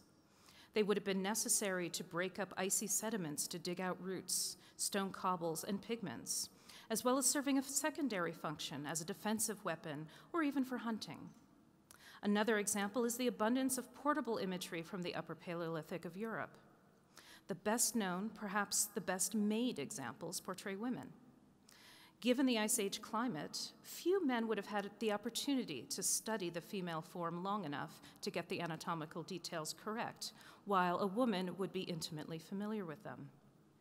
It is hard to imagine why men would want or need such objects anyway. Women were almost certainly the producers of parietal imagery as well. Looking at modern Western women's and men's hands and comparing them to the handprints on cave walls, such as Snow et al. have done, we can also assume that women produced rock art. Ethnographically, we see that women and older children bear the primary responsibility of the care and feeding of children and the elderly, and typically work cooperatively, cooperatively to do so which accounts for the hearths and faunal remains and other evidence that we find at archaeological sites. Ethnographic evidence also shows us that men spend a great deal of time in domestic settings socializing with each other when they're there, um, discussing abstract ideas, but spend very little time directly fulfilling the economic needs of the group. Therefore, the material remains we have must be due to women's economic activities. Because of men's biological limitations in reproduction, we can't even see their presence in domestic settings, which are the vast majority of Paleolithic archaeological sites. The fact that many modern men contribute to housekeeping and child rearing is evidence of how far we have come as a species. Since we do not have many Upper Paleolithic burials, we are further limited in what we can say about men's gender roles in the past. The presence of women at archaeological sites is obvious. It's common sense, given their central er, and crucial roles in society. Unless we can find clear evidence of men's activities in the past, perhaps using some new theoretical or methodological development that can help us with gender determination, they will remain a bit of a mystery, only peripherally participating in the human evolutionary journey. What might this evidence look like? If we could find objects that could only be used by men, though it is hard to imagine what that might be, that would help. If we found a Paleolithic Pompeii where people died instantly in the midst of daily life, that would go a long way as well toward explaining what men did in the past. So, this is clearly an absurdist approach, though there's nothing in it that was truly implausible. The result was still a very flat story of the past, uh, one that is so thoroughly suffused with modern gender ideology that it serves more to obscure than enlighten. To ask what Paleolithic women did, or what Paleolithic men did, or where Paleolithic women or men were, is to ask the wrong questions. Rather, we need to look at multiple scales to investigate how Paleolithic people lived their lives and guard against not only applying modern identity politics in the past, but also against assuming that Paleolithic identities were static across time and space or along the individual life course. Thank you.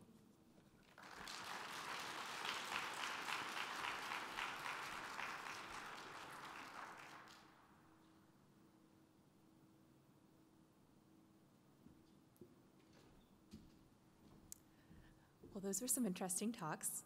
I now want to invite Silvia Tomášková to the stage to discuss them for us.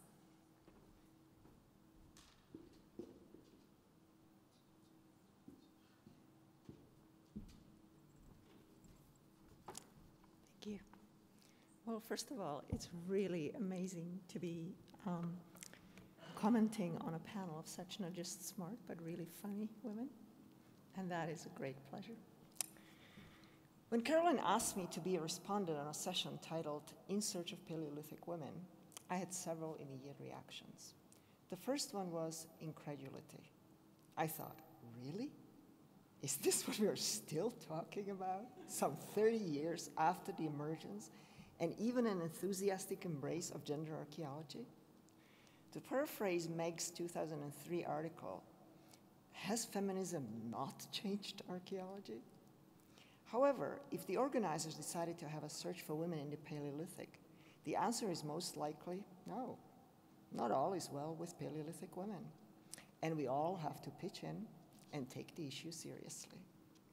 I will start with the positive and optimistic, partly from current Paleolithic research, partly from the presentations. They all confirm the good news. It is clear that there were women in the Paleolithic.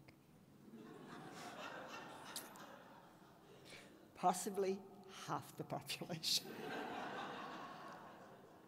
they lived and died. Some had ordinary ho hum kind of lives.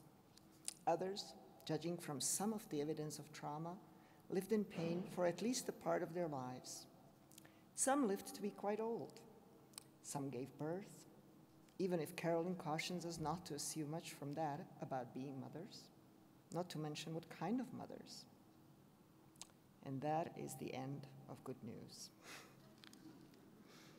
Therefore, we have to continue to think about and speak out about the persistent patterns of ignoring women in distant prehistory, generalizing about them from observations of other primates. Women's must be close to baboons or chimps because they give birth and have leaky bodies, being so corporeal and so irrational. There's plenty of feminist literature in history, philosophy, or sociology that deals with the fear, envy, or the gender, general discomfort of the female body that we as archaeologists may draw upon.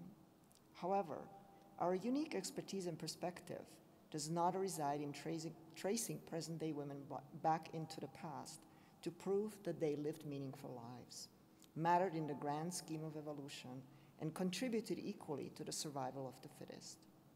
That is evolutionary theory at its most ideological, supporting the present as inevitable and unquestioned and only possible outcome. I will therefore structure my response in terms of why and how and as you may suspect, each of these simple questions is actually multi-layered and peels into another set of questions. But there is no simple way around it.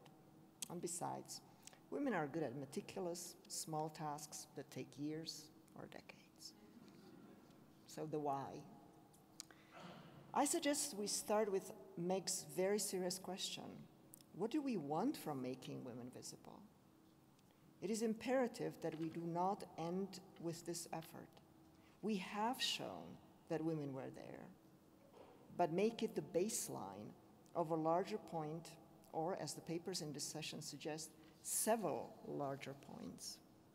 History and sociology of science give plenty of, substan of substantiation that evidence and facts are constructed in a specific context. The archaeological record is made based on research questions. Questions that change with the accumulation of new evidence, but even more questions change depending on who gets to ask those questions. Thus, the making of Paleolithic women visible is not necessarily about those women per se. Did anyone really doubt that they were not there? It is a mirror of our discipline, the research focus, and the presentism of not just the interpretation, but more importantly, of the questions asked. The search for Paleolithic women exposes the ideological nature of scientific research. However, I do not mean the statement as an indictment of impure science in need of, an, of a corrective, exposure of Nazi misuse of archaeology, for example. To the contrary, I wish to stress that all science is cultural practice. We can only dream of or be curious about that which we have heard about, have imagined, and therefore should interrogate. If my own research on the gender of shamans in Siberia, I found historical records of 18th century German scientists who believed that a Siberian man could turn into a woman because these scientists did not think of the natives as fully human. Thus, these people were thought of as capable of anything, any kind of transfiguration.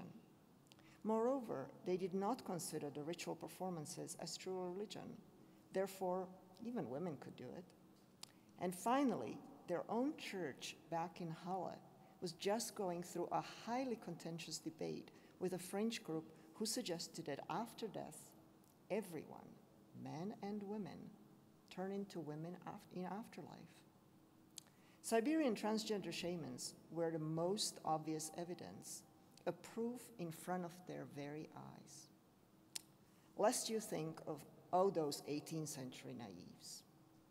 The late 19th century ethnographers of an even more remote eastern Siberia also believed in the possibility of gender change, partly because they were revolutionaries and they fervently, sincerely wished for social change. Primitive communism and ancient societies as a return to equality. A ritual performer could fly, turn into a woman, and heal miserable skin rash fit the bill. This is to say that it is not the, vis the visibility of Paleolithic women that is an issue. Rather, it is the nature, the composition, the structure of our discipline that comes into focus. The questions that we ask are not driven by the archaeological record. The latest discovery, they're our own creations. They're the result of our impertinent curiosity, the, the one that killed the cat. And we need to make that aspect of our own work visible. So now to the how. Once we have exhausted everyone with the theoretical critique, it is our responsibility, it is our next assignment to suggest how to move in a new direction or directions, to offer alternatives, if nothing else, to our students or to those who are on board with the critique. I will therefore follow Kathleen's lead here and ask whether, Paleolithic men are visible. If the brawny, muscled hunters who always knew their lithic sources, had a choice of tools on hand at all times, knew the migratory route of every animal, is really the image we can live with. This is a very sorry state of a discipline. Consider seriously and thoughtfully not whether men or women are visible in discussions of the very distant past, but whether humanity is really visible.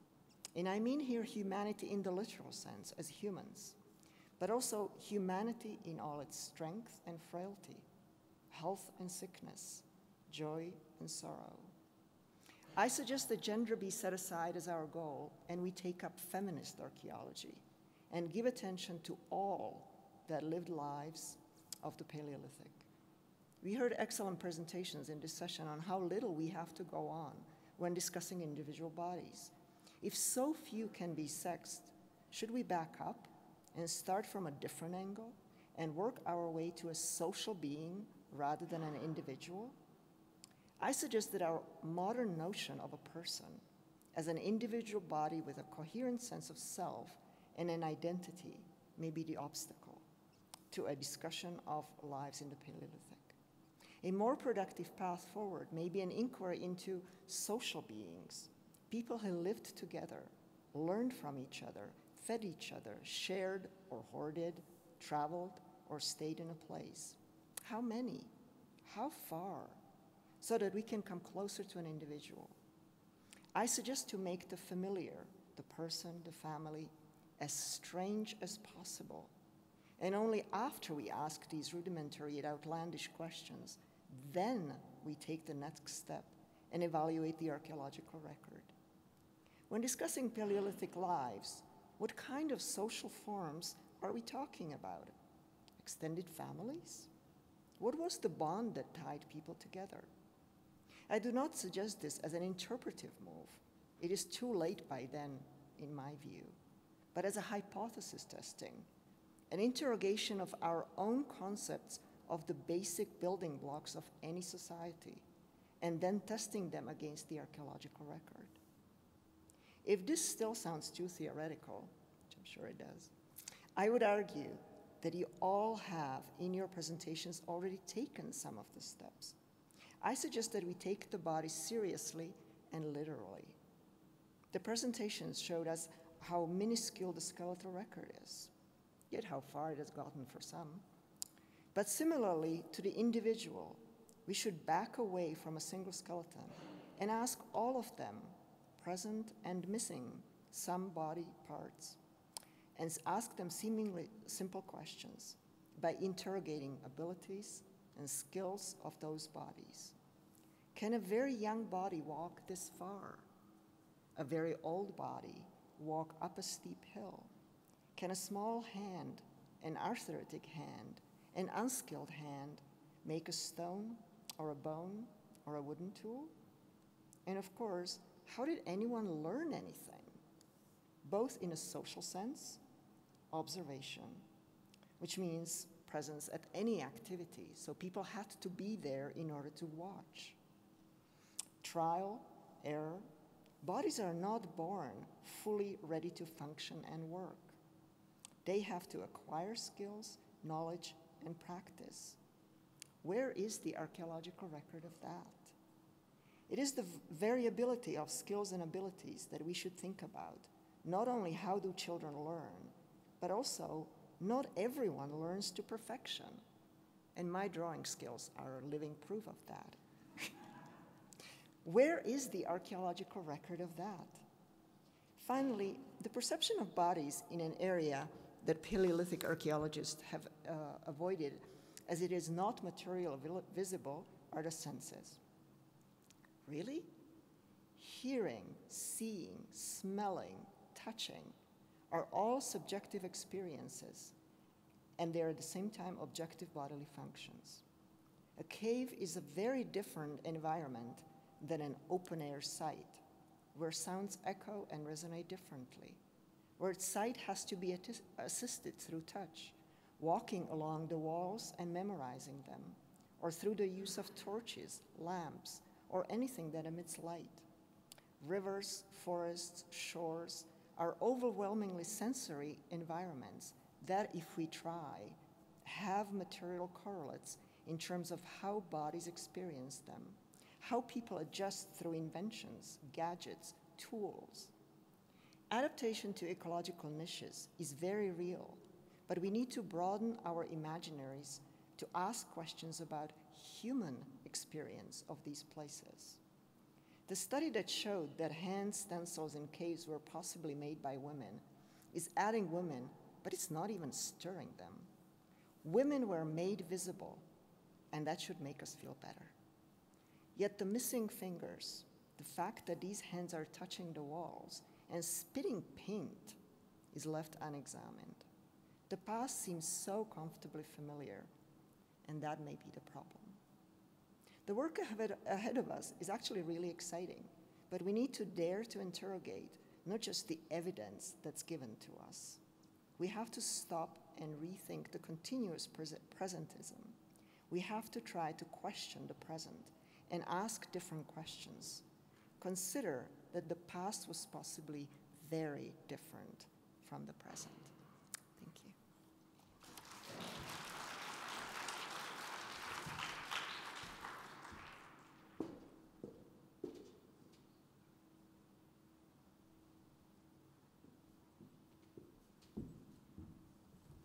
And now for our final discussant, Karen Rosenberg.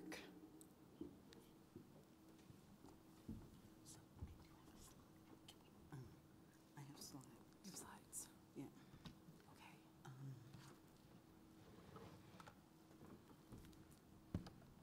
Caroline will make everything right. Yes. Tech help here. Okay. Slides. Yeah. Of course, you've seen the first one, but It's a popular image. yeah. Can we get the slides back? It's very bright up here. I had no idea. So I want to start by thanking Caroline and Virginia, um, the organizers of this symposium, for putting together such a great group of inspiring and insightful speakers searching for women in the Paleolithic. I try most of the time to avoid sounding like an old fart, but I think today I'm going to fail a little bit. It's hard to believe that 30 years ago, when I was in graduate school, no one to my knowledge had ever drawn a reconstruction of an ancestral human being having a baby or even being pregnant. Two events in female life history that we know are relatively risky, and hence times when we can really see selection in operation. I used to say that what I liked about studying the anatomy of the birth canal was that one could visualize selection and operation much more graphically than we could when we were talking about a millimeter or two of enamel on a molar. In, in any case, in spite of this close connection to selection, although there was some work, ooh, I failed here, um, on childbirth in Australopithecines by the time of the late 80s, there wasn't much more. As far as I know, it wasn't until 1989 that a picture of a pregnant Australopithecine was published. This one, which Melanie and Caroline and maybe some other people showed in their presentations. I think it's from an illustrated guide to human evolution by Peter Andrews and Chris Stringer. And then again in 2007, oh, wrong. Um, in 2007, in this um, picture by John Gurche, which was published in Nature when Katherine Whitcome's work on the effects of pregnancy on women's walking was published. Today, it's hard to describe to the younger generation how shocked I was, in a good way, but shocked, when I first saw the picture of the pregnant Lucy. And of course, in addition, when I wondered why I hadn't thought of publishing something like that, even though I was working on the evolution of human childbirth at the time. While I'm on the subject of childbirth, which is a comfortable place for me, I want to mention a couple of small issues. Caroline mentioned in her paper that parturition scars are not found on fossil pelves.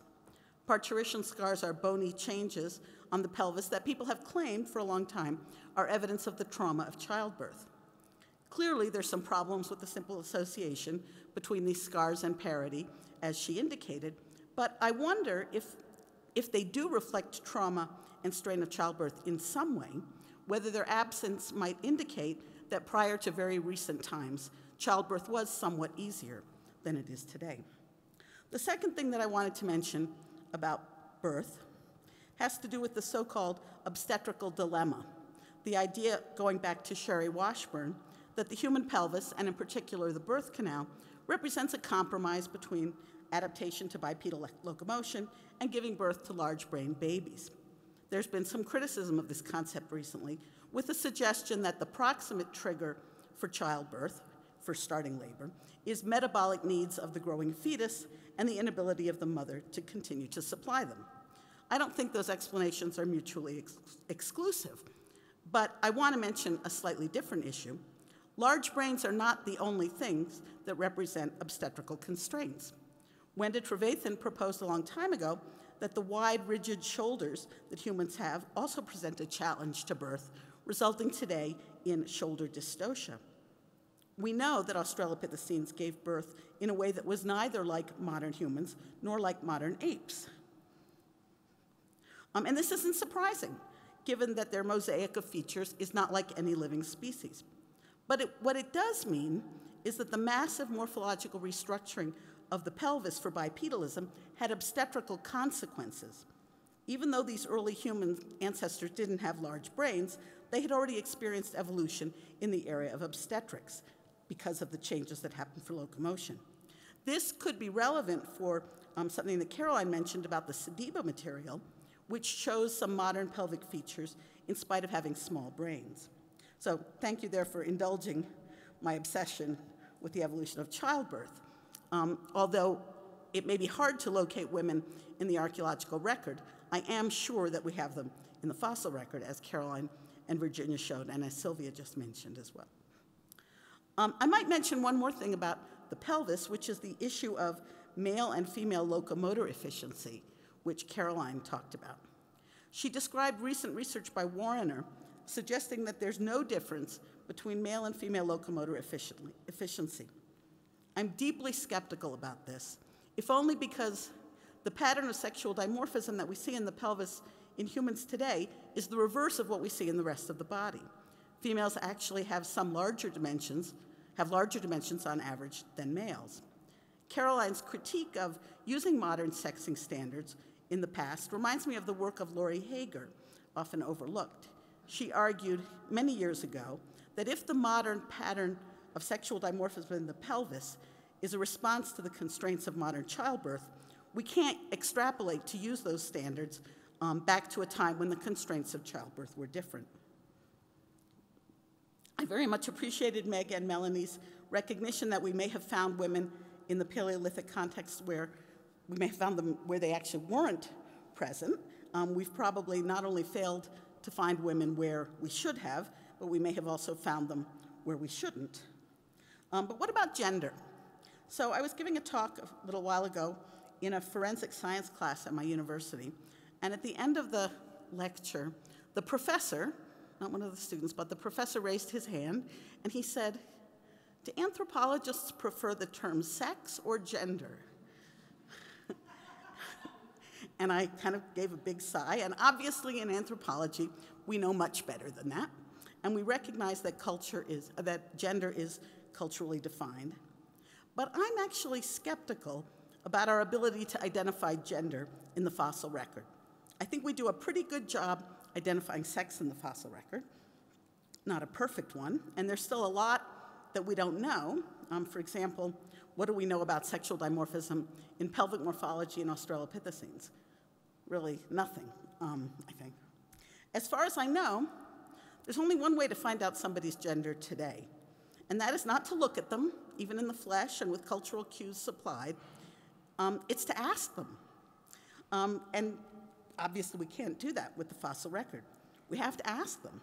And this is increasingly complicated in society today. As Meg mentioned, it's playing out in all kinds of issues, including who can go in which bathroom. So, though I try to be a pretty positive and optimistic person, and I actually think we have a really good fossil record, not a crummy fossil record as some people suggested, um, but I wonder if we're ever really going to be able to look at gender in the archaeological or fossil record. I don't think it's that the fossil record is scrappy. I think we may be asking a question that we can't answer. Of course, I do think we've made a lot of progress in including women in our evolutionary narratives, a very positive development. Um, my enthusiasm is tempered a little bit with my concerns that we continue to kind of impose gender stereotypes on sex roles in prehistory. Um, Meg and Kathleen made this point in their presentations. I don't think we're better off finding women in the Paleolithic if we find them only in terms of modern Western stereotypes, a kind of Wilma Flintstone. Um, I wasn't going to mention names, but I guess I'm thinking about people like Owen Lovejoy, whose inclusion of women in his model of hominin origins seemed in some ways to come out as kind of 1950s housewives waiting for their guys to bring home the bacon in exchange for sexual favors and faithfulness. This doesn't seem like progress in finding women in prehistory. We've been fighting against gender stereotypes in our own lives for so many decades, and like many of the speakers who spoke today, I'm really troubled that even after all this time, we so often seem willing to apply those stereotypes uncritically to the past. So thank you. Do we have time for we have time for questions, you guys? What happens now? Milford? Ooh, do I? I'm not the moderator, but.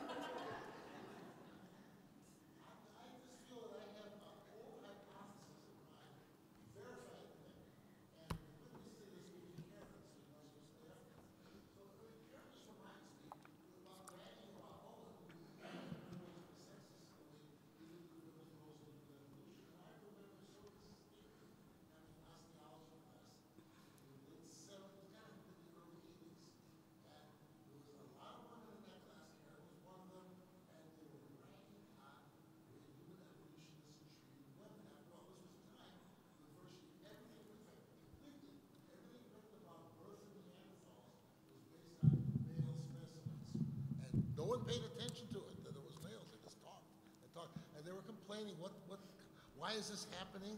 How could people be thinking about males all the time when these are clearly problems about women? And I said, all you can do is graduate, become professionals, and start addressing women's issues as women, because the men aren't going to do it. I guess I was right. Oh, thank you.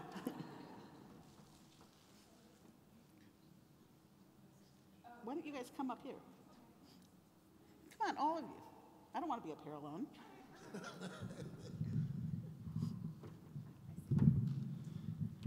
you, Milford. No, still not on. Is this on? Oh, there we go.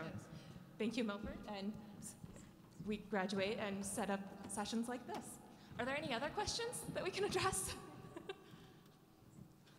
now that we're up here.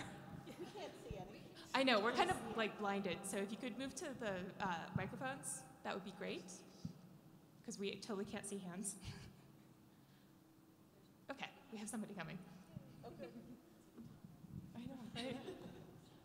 Hello. Um, yes, I have a couple of questions. And first of all, I'm very happy I took Meg Conkey's class since 1994 in Berkeley.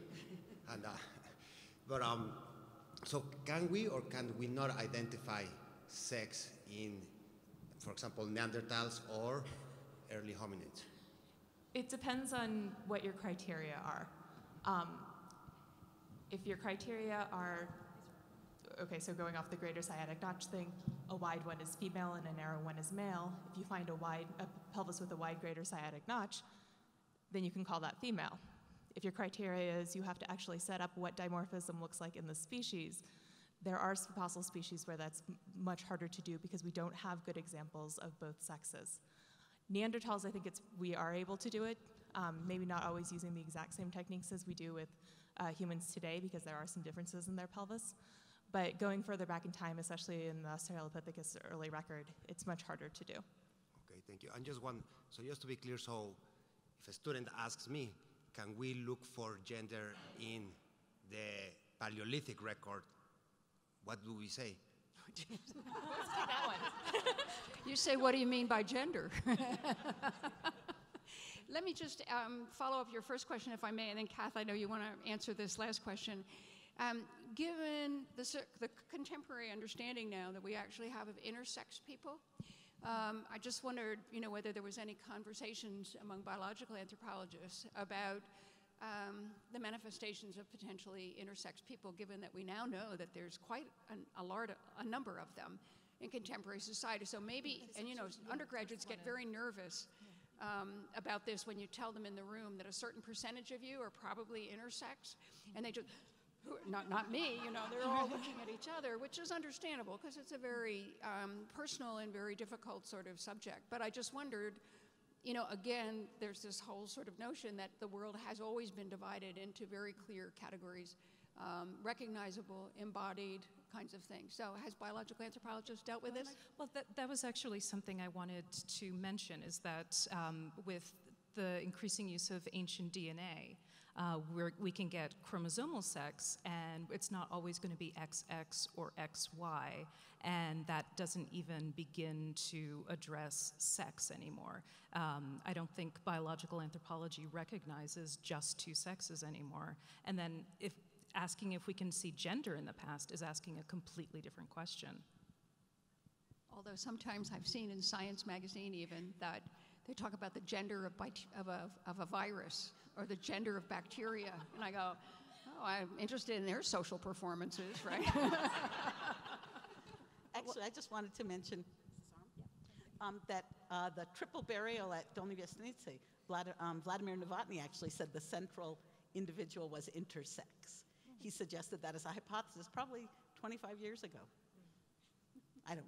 Based on skeleton? Um, there's something odd about that skeleton. It's very small. It has some pathology. It's right. and so that was his that was his explanation. I'm not particularly supporting it, but I.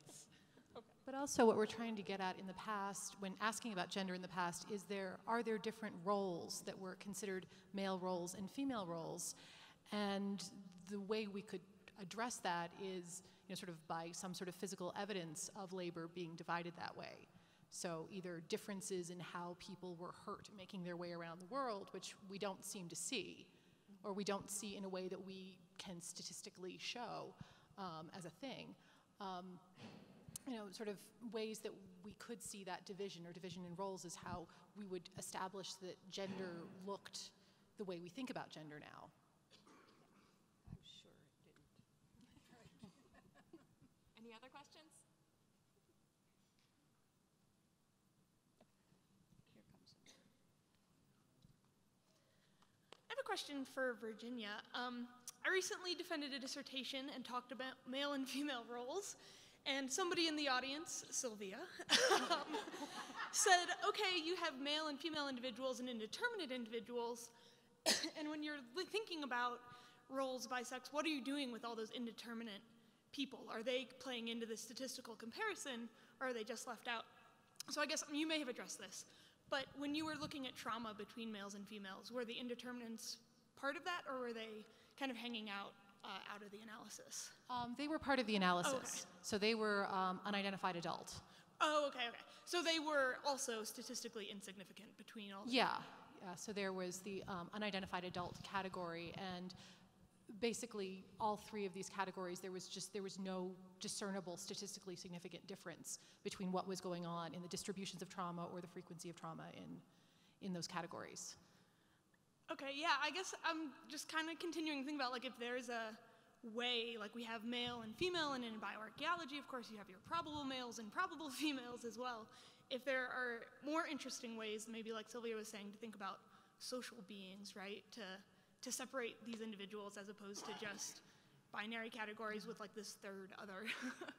I um, like to I like age classes. I think age Yeah. classes are actually really interesting, and the fact that in Neanderthals we have a lot of these well-preserved older males that have mostly mostly have a lot of trauma that they have survived. When you look at the larger sample of Neanderthals, the frequency is not actually that high or that different from any other hunter-gatherer group. But when you're just looking at these ones that were probably buried or possibly buried, um, they do have a high amount of trauma. So did these men who survived into older age in Neanderthals and were deposited in some way that allowed us to find them um, in higher levels of preservation than we see with other, um, other individuals, did being hurt create a role for them, possibly, in ways that they might not have had otherwise? So It's called assisted living. yeah. Well, but or or they had a role that was a leadership, administrative role. Jean Auel wrote about that.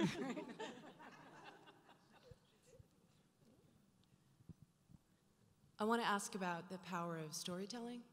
Um, it seems to me that one of the things that confounds the stuff that you would like to know about is the very lack of evidence, right? You, um, but people want us in this discipline, in your discipline, to tell stories. Tell us what life was like. Tell us about men and women, um, in part because those categories inform so much of what contemporary people experience in their life. So, how do we resolve the tension between the kinds of stories that we think we're capable of telling, right? Maybe the more interesting stories that we could talk about in terms of age roles or the human stories that we want to tell um, rather than male stories or female stories, with the desire that people have from looking at archaeology for us to tell those stories. We want to tell different stories. We get pulled back into the desire to tell these more conventional stories. But there are other people who want different stories, right? What about people who are genderqueer now, who would like to be able to imagine themselves um, existing in the past and the, and the power of that? So I just, it, what do you do with that? Well, I think what we have to recognize um, in telling the stories is the ways in which the people of the past, whatever categories they themselves had or enacted in their lives, um, they had to be cooperative, they had to work together, they had to be social beings, they had to figure out ways of complementarity to get things done. Otherwise, you know, none of us really would be here. Um, and I think there's a lot of stuff that we can read. Um, I think Joan Roughgarden, for example, her work on uh, aspects of sexuality across the animal kingdom and so forth, are giving us some ideas about how um, the whole varieties of human experience and human identities and so forth actually, you know, can be found and understood in, in broader terms. So I think there's another whole kind of literature that we can draw on that people have, have um, embraced and uh, really done some really fine empirical work.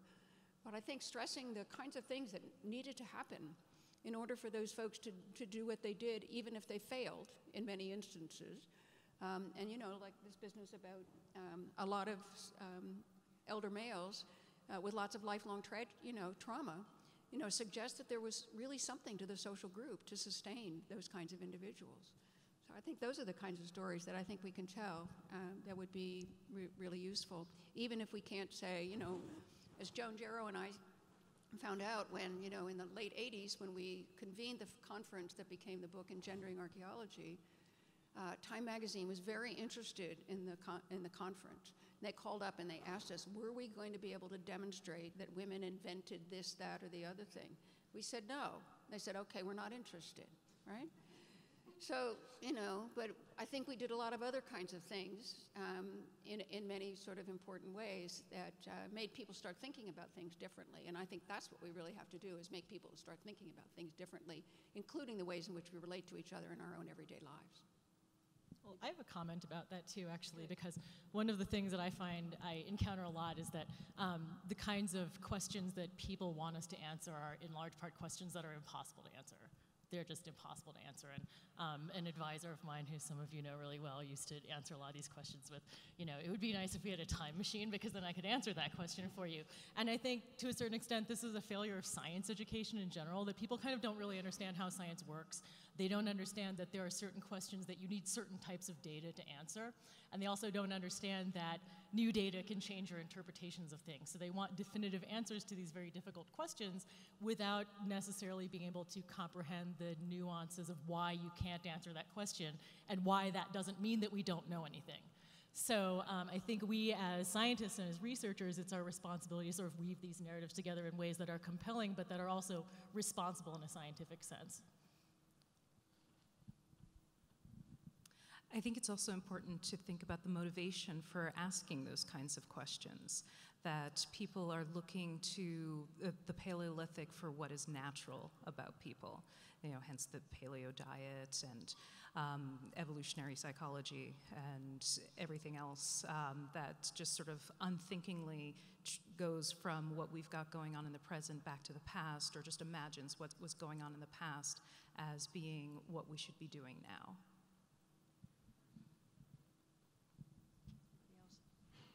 Is there time for one more question? Yeah, I think we can do one more. Okay.